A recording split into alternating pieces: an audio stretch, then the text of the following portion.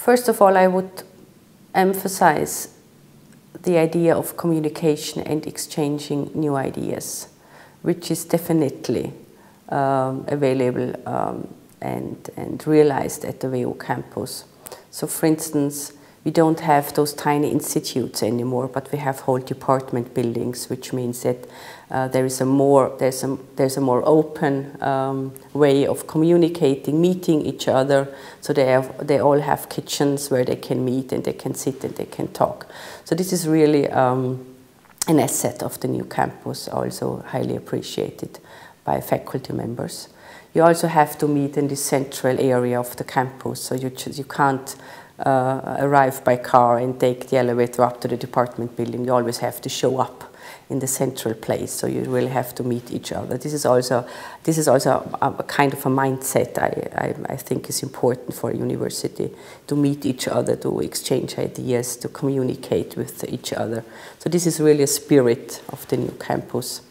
And this, of course, is also true for our internationalization strategy. So we find uh, um, our international uh, partners at universities who are very interested in, for instance, um, organizing their annual events at WU because they really perceive the campus as a modern, as an open, as a diverse and international uh, campus.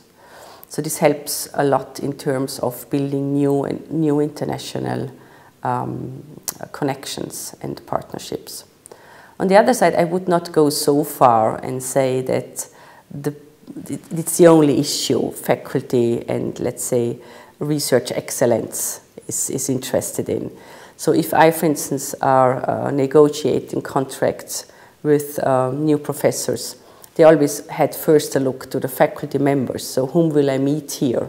Who will be my colleagues?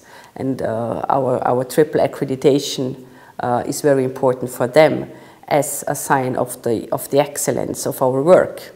But of course, sitting here, having a look uh, around, they also would mention the nice campus and it would be an additional asset for people to come and work or study here.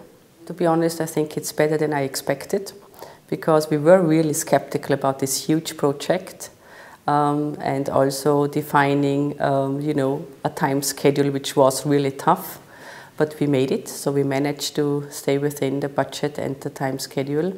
So this is really, I think, a big success of uh, all the WU uh, people taking care and, and being involved in the whole process.